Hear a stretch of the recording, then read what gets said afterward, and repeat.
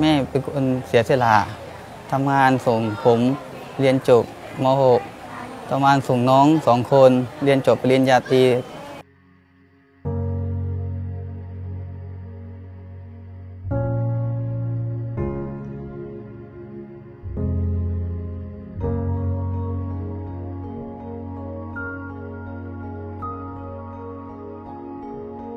ก็ไม่มีอะไรมากหรอกครับ นอกจากให้ลูกๆทุกคนมีความสุข มีครอบครัวที่ดี ก็ช่วยกันทำงานรักรักกันกลมเกลียวกันครับคนในครอบครัวเกอยากให้ลูกๆของเกได้มีงานทำที่ดีๆ แล้วก็อยู่แบบสบายไม่ต้องเหนมาก แล้วก็ดูเลเกพ่อกับแม่ครับ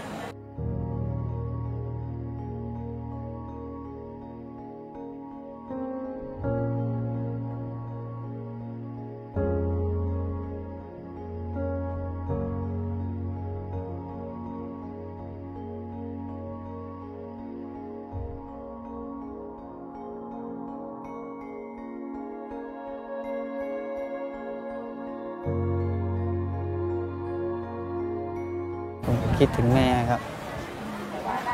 อยากบอกรักแม่ อยาก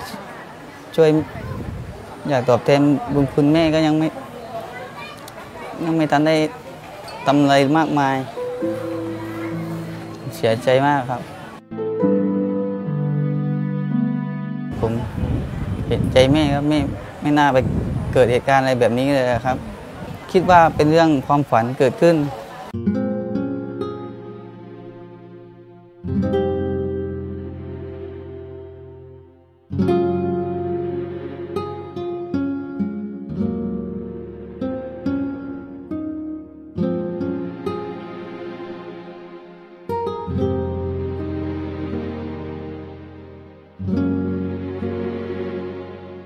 สัญญาว่าจะดูแลครอบครัวให้ดี จะดูแลพ่อ